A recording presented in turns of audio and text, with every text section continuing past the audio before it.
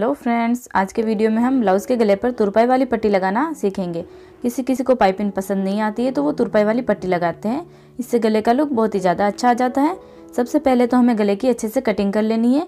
कोई भी अगर एक्स्ट्रा फैब्रिक या फिर कपड़े के धागे दिखाई दे तो आप उन्हें अच्छे से कट कर लीजिए और गले को एकदम अच्छी फिनिशिंग के साथ कटिंग कर लीजिए। ठीक है? फिर हमें इस तरीके से तिरछा पट्टी कट करनी है। लगभग डेढ़ इंच चौड़ी है, हमें तिरछी पट्टियाँ कट करनी है, यानी कि उरे पट्टी होनी चाहिए हमारी। और इनको देखिए, एक साथ कीजिए इस तरीके से। और इस तरीके से कट कर लीजिए तिरछा। फिर इसके ऊपर उल्टा रखते हुए पट्टी को आप ज्वाइंट कर लीजिए। ठीक है, उसके बाद हमें पट्टी को इस तरीके से डबल फोल्ड करना है। और देखिए, दो पॉइंट दो पर हमें एक निशान लगाना है मार्कर से। ठीक है, उसके बाद पट्टी को इस तरह से फोल्ड कर लीजिए अंदर की ओर।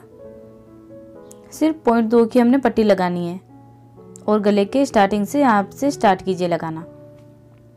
गले पर पट्टी लगाते वक्त पट्टी को हल्का हल्का सा हमें खींचते हुए रखना है और जो कपड़ा जाता है सिलाई में वो हमें बराबर लेना है।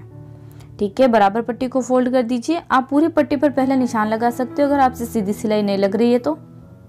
पूरे गले पर हमें पट्टी को हल्का हल्का सा खींचते हुए लगाना है। देखिए, जो आर्मोल की जो शोल्डर्स की सिलाई आती है, वहाँ से एक इंच इस तरफ़ और एक इंच इस तरफ़ हमें पट्टी को थोड़ा ज़्यादा खींचना है।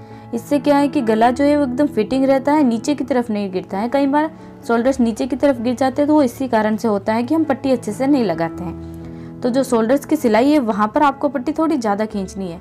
इतना भी नहीं हमें खींचना है कि कपड़ा ऐसे खींचने लग जाए, उसमें सलवट आ जाए। बस थोड़ा सा ज़्यादा खींचना है यहाँ पर शोल्डर्स की तरफ़ से, इससे कंधे बिल्कुल भी नहीं नीचे गिरते हैं। इस तरीके से आप बराबर पट्टी लगा लीजिए पूरे नेक पर। एक्स्ट्रा पट्टी को कट कर दीजिए और बाकी पट्टी को इस तरीके से फोल्ड करके पूरा कवर कर लीजिए, ठीक है? ये देखिए हमारा जो कपड़ा है वो आप देख लीजिए कि कहीं पर छूट ना गया और कहीं पर ज़्यादा या कम ना आ गया हो। उसके बाद देखिए हमें एक्स्ट्रा फैब्रिक कट कर देना है। बराबर सारे फैब्रिक को कट कर लीजिए। अगर आपको हमारा वीडियो अच्छा लगे तो लाइक ज़रूर करना और हमारे चैनल को सब्सक्राइब ज़रूर करें। अब देखिए, सारी पट्टी को हम इस तरफ़ फोल्ड कर देंगे। इतना हमें कपड़ा कट कर लेना है कि जब हम पट्टी को इस तरफ़ फोल्ड करें तो जो नीचे सिलाई में कपड़ा गया है, वो ना दिखे। अब सारी पट्टी को और सारे कपड़े को उस तरफ़ कर लीजिए और इसके ऊपर और एकदम किनारे पर सिलाई लगा दीजिए, जो हमने पहले सिलाई लगाई उसके जस्ट पास में। इससे पट्टी एकदम अच्छे से दब जाएगी। ये देखिए, हमने पूरी सिलाई लगा ली। अब हम पट्टी को अंदर की ओर फोल्ड करेंगे और उसके ऊपर तुरपाई करेंगे। तो पहले हमें पट्टी को अंदर की ओर फोल्ड करते हुए गले को देखिए, जिस शेप में है, उसी शेप में रखिएगा। इसे सीधा करके इसके ऊपर आप सिलाई ना लगाएँ। हमें कच्ची सिलाई लगानी है। यानी कि मशीन की जो स्टिच है, वो बड़ी कर लीजिए और थोड़ा अंदर की ओर सिलाई लगा दीजिए। इससे जब हम तुरपाई करेंगे तो आसानी से हो जाएगी। ठीक है? अब देखिए, हमें हाथ वाली सुई लेनी है। बारीक सुई लीजिएगा, एकदम पतली सी, और उसमें मैचिंग कलर का धागा पिरो लीजिए डब्बा।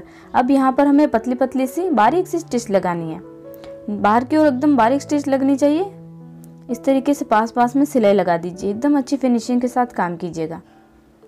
तुरपाई वाली पाइपिंग बहुत अच्छी लगती है, आप भी ज़रूर ट्राई कीजिएगा। और आप थोड़ा थोड़ा सा पट्टी को खींचते लगाइए, इससे आपका जो गला है वो एकदम फिटिंग रहेगा।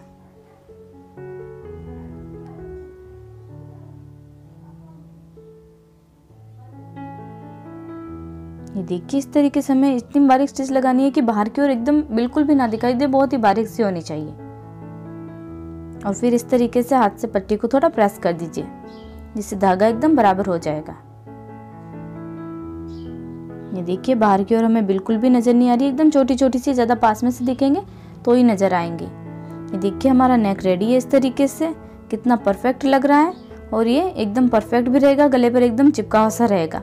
और शोल्डर्स भी इसके नहीं गिरेंगे क्योंकि हमने अच्छे से खींच लिया पट्टी को और हमने जो कच्ची सिलाई लगाई थी वो भी हटा दिए। आपको हमारा वीडियो कैसा लगा मैं कमेंट करके ज़रूर बताइएगा।